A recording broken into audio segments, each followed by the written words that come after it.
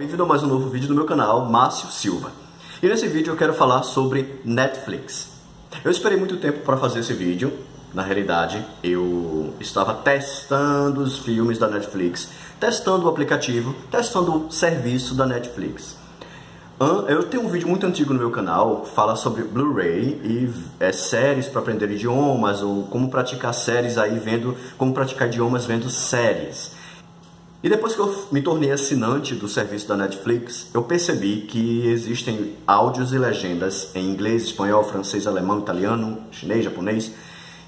E eu disse, por que não fazer um vídeo falando sobre Netflix? Bem, a Netflix é um serviço de streaming que você paga uma taxinha por mês e aí você tem acesso a séries, vídeos e alguns programas.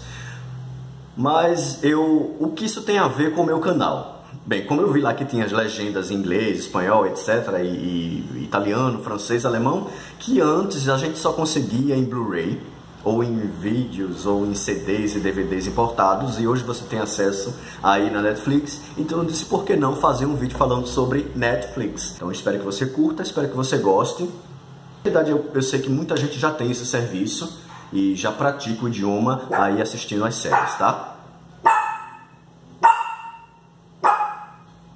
Então tá aí o aplicativo da Netflix, um aplicativo que eu estou viciado, porque estou assistindo vários, vários episódios de séries que gosto, de filme que gosto em vários idiomas. Então aí, é, uma série que eu tô assistindo, que está muito falada é La Casa de Papel, que é a Casa de Papel que todo mundo conhece.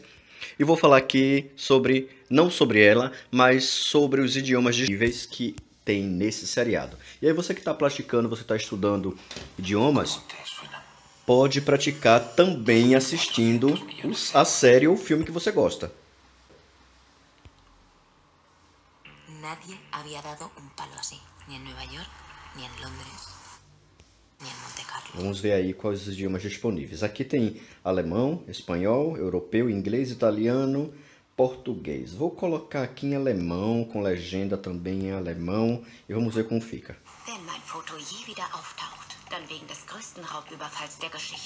E não tem só esses, pessoal. Tem vários outras várias outras séries, filmes, desenhos, é, documentários em outros idiomas. E aí você é só escolher um e começar a assistir. Eu terminei de assistir agora há pouco The Rain, que gostei muito, tá? E tô louco, tô fanático no, na Netflix. Assisti inglês, assisti espanhol, já assisti em alemão. E aí que você tá aprendendo dinamarquês, o The Rain que é uma série nova aí da tá bombando na Netflix. Também tem dinamarquês. Tem alemão também, alemão, inglês, italiano. Vamos ver aqui em italiano. Italiano. Viu como é legal? Então aí fica a minha dica faz aí uma assinatura na, na Netflix, ou aí é, usa a assinatura da tua família, se você tem. E começa a assistir os filmes e praticar idiomas, que vale a pena, realmente você vai gostar. Mas isso para quem gosta de praticar idiomas vendo o vídeo, tá? Fica aí a minha dica.